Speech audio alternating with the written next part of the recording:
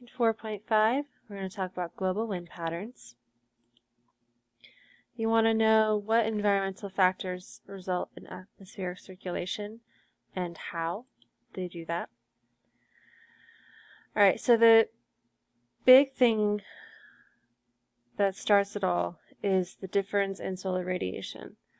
Um, so the most intense solar radiation is felt at the equator, whereas the least intense radiation is felt at the poles.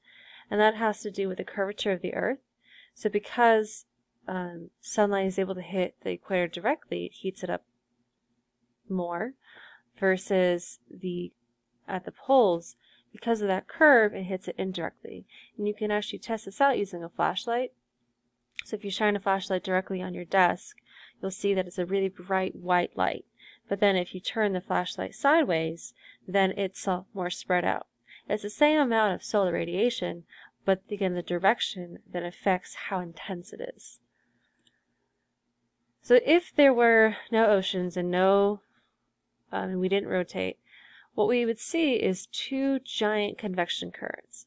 And because the, the equator is getting a lot of heat, and as that air heats, it rises, becomes less dense. And then as it gets further up, it cools off, and then it sinks. Um, so we would see these just one giant convection current from the equator to the poles. Uh, again, that has to do with how much direct heat is being felt. But it is more complicated than that. Uh, this is just another picture showing the convection cells if you're still kind of eh, about it, but I'm going to go on. So it becomes more complicated because, again, we have a lot of oceans and we are constantly spinning on our axis. So we end up with three major cells in both the northern hemisphere and the southern hemisphere. Now it starts off just like said before, uh, because the equators are very warm, that moist, warm air rises, and then as it cools, it falls down. Um, so we see a lot of rain show up here, but I'll talk more about that in a second. Versus in the polar cell, as the polar cell, or as air in the polar cell um, flows downwards, it warms up and then it rises and then it cools up and falls. And so we actually see like these two major polar or major um, circulation cells. I'm sorry, a little bit tired. and then the Ferrel cell kind of acts as like a gear between the two, transferring cold air from the top and then warm air from the equators and rotating back and forth. Um, so you do want to know that the Hadley is from 0 to 30 on both the north and south or southern hemisphere. The Ferrel cell is in the 30 to 60, again, northern and Ferrel um, or northern and southern hemispheres, and then the poles go from 60 to 90, the polar cells. If we look at it from a side view, we can see a little bit better what's going on at each um, each latitude. So we see in the equator we have a lot of rain, and that's because all this moisture um, is being heated up and creates all this rain but then by the time it gets up to the, the tropopause and cools back down and falls, all that rain is then lost. Um, and so we see an area of high pressure, so this colder air sinks and falls, but it has no moisture in it. Or at least, again, this is relative. I'm not saying that everything at 30 degrees north doesn't get rain, because obviously that's not the case, because that's where we are. We get rain all the time. But I'm saying relative to these other latitudes, this 30 degree area does not get as much rain. And then we see again as it, um, it'll pick moisture back up and then rise at the 60 degree north and south um, latitudes and then get more rain.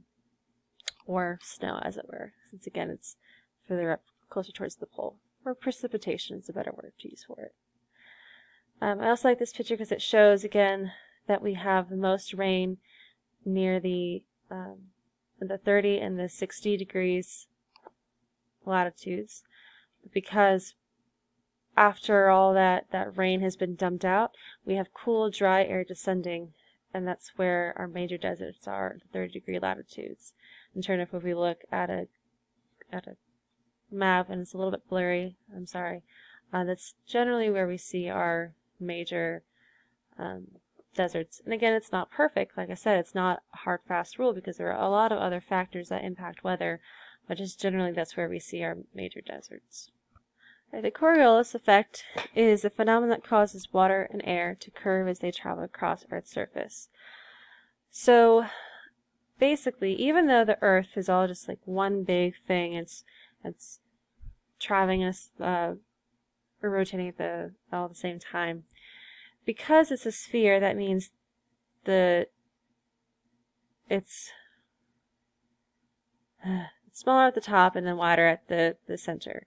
So anything in the center has to move a lot faster than things at the poles.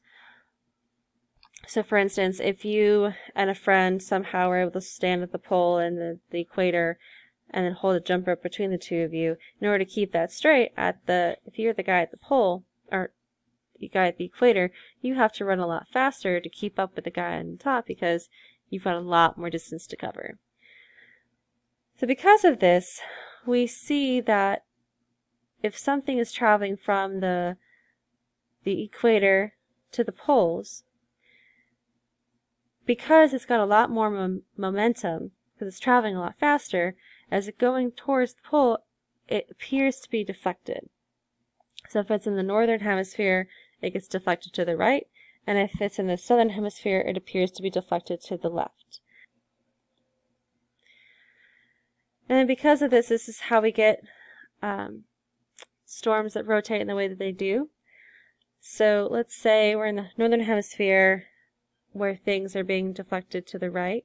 Well, in a storm, you have an area of low pressure in the center, so air is rushing towards that center. Um, so then as that air is rushing towards the center, it gets deflected to the right. And all that water, all that air is being deflected to the right and to the right and to the right, and that comes um, together in, in one piece as a counterclockwise motion. And then we see the opposite happen in the southern hemisphere as the air is rushing towards the center, gets deflected to the left. So if everything is deflected to the left, it ends up rotating in a clockwise manner. At the end of the day, if you don't understand how that happens or why that happens, that's fine. Just remember that things will deflect to the right in the northern hemisphere and to the left in the southern hemisphere. As best as you can, explain how environmental factors can result in atmospheric circulation.